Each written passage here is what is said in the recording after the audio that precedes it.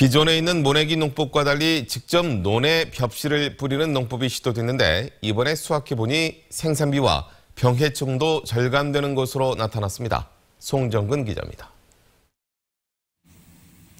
빨간 콤바인이 누렇게 익은 벼를 베며 바삐 움직입니다.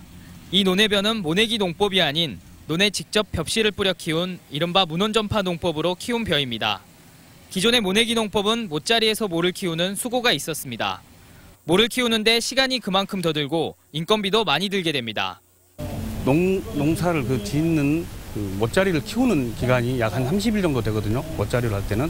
근데 원원 전파를 할 때는 바로 한 최하 한 이틀, 그래서 한 3일 정도면은 심을 수가 있습니다. 반면에 문원전파 농법은 일정한 간격으로 벽실을 논에 직접 뿌려 논에서 바로 모를 키울 수 있게 됨에 따라 생산비와 인건비를 크게 줄일 수 있게 됐습니다.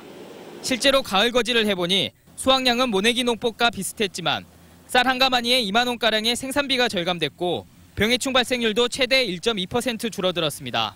파종 비율을 한20% 정도 절감할 수가 있고 뿐만 아니라 병충해 와도 에, 상당한 에, 역할을 하기 때문에 큰 경쟁을 갖출 수 있다 그렇게 생각합니다.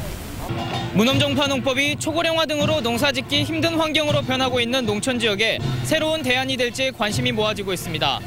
MBC 뉴스 송정근입니다.